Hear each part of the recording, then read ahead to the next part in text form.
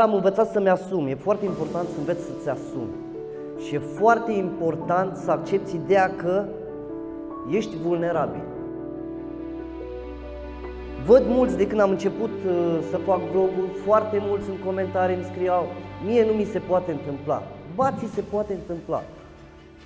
Mentalitatea a devenit din ce în ce mai superficială în rândul tinerilor.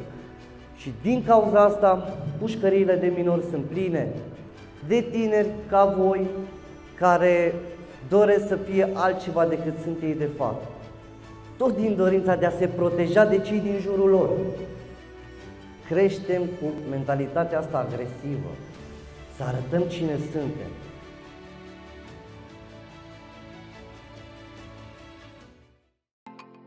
Împreună inspirăm tinerii din România